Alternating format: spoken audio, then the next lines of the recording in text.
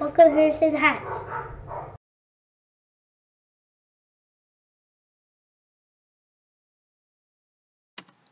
Hey guys, welcome back to Harrison Hacks. Uh, today I'm going to show you my arcade build that I've been working on. Uh, instead of using emulation station this time, I'm actually using attract mode. Uh, and within attract mode, I'm using hyperspin themes. Um, so let me just get right into it and, and show you what it looks like. So I've done a startup video.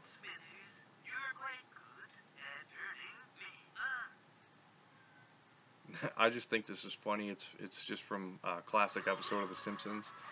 Um, so I like that intro video. I thought it was good. Um, so basically right now, I'll just keep scrolling. It's all one wheel. Uh, it's the same wheel.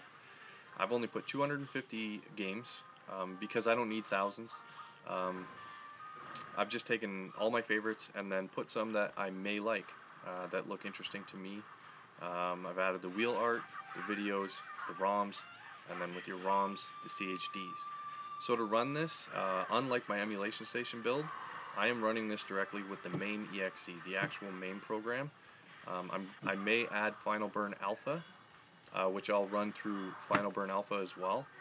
I use MAME and Final Burn Alpha um, for my builds, uh, just because I like to use the actual programs as opposed to RetroArch. Uh, RetroArch. Uh, RetroArch I like to use for all my consoles because it's a nice clean setup. RetroArch controls Nintendo, Super Nintendo, Sega Genesis, Master System, TurboGrafx. I mean all the way through, the handhelds, everything, right? So RetroArch is great if you want to do a, a console-based build, which is something I'm working on within attract mode next. So if you guys know from my previous video, I did the emulation station build um, for you guys, and it's, I believe, about 14 gigs, something like that. Um, now, if I were to use a different theme, uh, the Tronkyfran theme is really great for emulation station. That's one I would recommend if you just want to use um, images instead of snaps, because that'll really keep your size down. Uh, with this build, this is attract mode using hyperspin themes. So this is my main menu, um, and right now I have arcade classics. So in the future, um, I'm going to be doing a, a fighting games wheel. Um, i may do Final Burn Alpha. Uh, I'll do a wheel for that. And, you know, sports games because I've got Blitz on here, Blitz 2K, stuff like that. Uh, shoot 'em ups, you know, platforms, all that kind of all that kind of stuff. Uh, just separate my games so they're easier to find. But the reason why, uh, one of the reasons why I have only 250 games is so that you could scroll through this one wheel if you wanted to. Um, and it wouldn't be that bad to pick to pick. Now you can see each game has its own theme. Um, and these weren't created by me. Uh, I found a whole bunch online. Um, and, and I found all the ones that I needed for the games that I'm going to play. So, uh, and one thing that I would recommend separating, uh, if you're ever getting into, if you have like trackball games that you like and you want it, you have a trackball on your arcade setup, um, make it in in it in its own in its own uh, folder, like not folder, but its own wheel, and then you know that you'll be using your trackball for those games. Same with your light gun games if you want to do that. Um, that's that's just my recommendation. That's how I'm going to complete this build. Um, this is still a work in progress. I've only got 10 more of the um, of these actual game themes. There's 10 of them that I want to modify. Some of the artwork is a little out of place. So for this, I would like Scorpion to be a little lower on the screen. Um, that's just me. I may leave it just because I, I kind of like the uh, the arrow shooting out of his arm, but I wanted it on the bottom of the screen. Um, see this one? That looks fine to me. I like that. Turtles in Time, if you look on the top left, You'll see Turtles in Time Konami and there's the turtles. That's actually supposed to come down and be more centered so that the turtles are going around the entire um, video snap. So just little stuff like that. See this one's great, this one's spot on. You see the wheel fades away so that you can see all the artwork. Um, and again, I'm not the creator, so my hat's off to, to the creators of all this stuff. I just take the stuff, combine it, modify it to my liking, boom. Um, But one one thing that I would say is uh, attract mode over hyperspin 100%.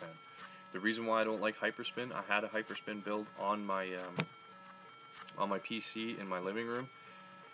The controller setup, what a pain, what a pain. I don't want to run JoyToKey. I don't want to have to deal with RocketLauncher, hyperspin, HyperHQ, Joy to Key, Xpadder. I don't want to deal with all that. The best thing about attract mode is you can use those hyperspin themes. So if that's the look you like, you want that hyperspin look. This is giving you exactly that, but in a way more user-friendly interface. I mean, I have my controller set up so that let's go in. Let's just go into Tapper. Let's just go into Tapper here. So we're inside uh, of Tapper. It's loading up, uh, and any game that you that you load up. If I hold select and press up, I pause it. That's great.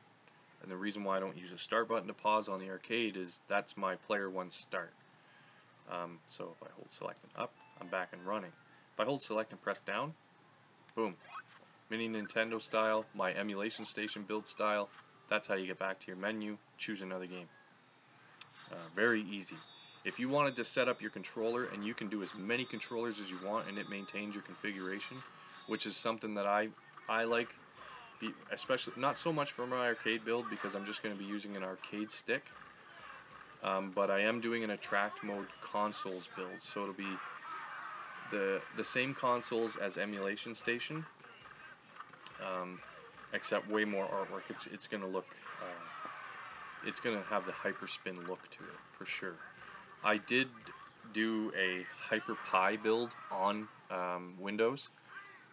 Uh, it's it's something that I've put on the back burner for now. I know there's other people working on it right now, and I mean people with way more technical skills and, and they're better at this stuff than I am. Um, I'm just an amateur, man, uh, compared to most people. Um, but definitely go with attract mode. It's 32-bit or 64-bit um, for Windows. You you you'll never regret it. Definitely not regret it. You can get it for Linux uh, which you can run RetroPie on Linux if you really want to. Um, but the reason why I recommend this so much is look at that hyperspin look. And let's say I wanted to go, I have right now my Super Nintendo controller is configured. So let's say you're new, you got your controller plugged in, you're ready to go. So you'd press tab on your keyboard. Okay, this let's say this is your first time setting up a controller. You're gonna hit enter on controls, and then there you go. So if you want to go back a page, then you just hit go in here. So I have it as the escape button, my my A button on my controller. Um, and let's say I'm using a Sega Genesis controller and I want to use the C button. So I just go to I'd press enter on add input, press C button on my Genesis controller. Um, whichever button you want. If it, you know, if you want to use like a a thumb a thumb uh, trigger on on your PS3 or 360 controller, then you could do that. And you can do all your controls all set up here. No JoyToKey, no X pattern, no messing around with all these profiles and bull crap. This is good to go. So what I'm to do, this build, like I said, is based on MAME. It has MAME as running all my arcade games. If I add Final Burn Alpha, it will be Final Burn Alpha, the actual program. Um, when I do my, my console uh, build, with attract mode, it will be the same as my emulation station build as far as running off of RetroArch. RetroArch is so convenient when you're running all these different systems on one platform. I just prefer to do my arcade games through MAME or through Final Burn Alpha. It's just easier for me, and there's a lot more options available um, from what I've seen. Uh, but definitely, if you're going to do a console build, go with RetroArch, man. It's so easy to use. And when I do the console build, I think what I'm going to do is do a how-to video. Um, I'll, I'll do a video for you guys showing you um, once I'm in work, a work in progress and then when I go to add a system I'll do a how-to and show you guys how to get all that up and running. So uh, this is this is my arcade build um, in track mode using hyperspin themes and every single game well it's got its own theme. So again guys really appreciate you watching please hit that like button subscribe to the channel I'll be making as many videos how-tos showing you guys a whole bunch of stuff. Um, and hopefully you enjoy it and hopefully it's helpful. Uh, thanks for watching. Have a good day.